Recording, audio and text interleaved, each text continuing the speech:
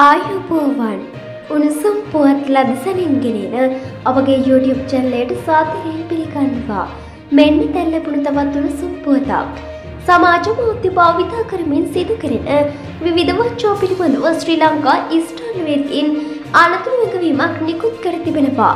විවිධ බැංකු වාණිජායතන අන්තර්ජාතිකායතන නාමයන් භාවිතා කරමින් පරිත්‍යාග මුදල් තෑගි දිනුම් වාසනා වැරැකි රක්ෂා ලබාදීමට ලියාපදිංචි වන ලෙස දන්වමින් එවනු ලබන ව්‍යාජ පණිවිටවලින් ප්‍රවේශම් වන ලෙස ශ්‍රී ලංකා ස්ථායතනය මහජනතාවකින් ඉල්ලා සිටිනවා.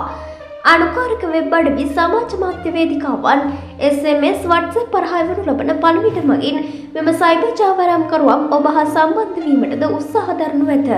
ඔවුන් විසින් ලබා දෙන ලින්ක්ස් වෙත පිවිසීමෙන් ඊට සම්බන්ධ වන පුද්ගලයන්ගේ පරිගණක ජංගම දුරකථන වැල ඇති දත්ත සොරා ගැනීමෙන් විවිධ අපචාර සඳහා මෙන්ම මුදල් වංචාද සිදු කරනු ලබනවා. මෙවැනි අපරාධ මෑත කාලේ වැඩි වෙමින් පවතින අතර එම අපරාධවලට ගොදුරු වන්නන්ගේ ප්‍රමාණයද වැඩි වෙමින් පවතින බව ශ්‍රී ලංකා ඉෂ්ඨායතනය පවසනවා. තවද විවිධ ජාතික හා ආගමික උත්සව මුල් කරගනිමින් මේ වංචාකරුවන් කටයුතු කරනු දක්නට ලැබෙනවා.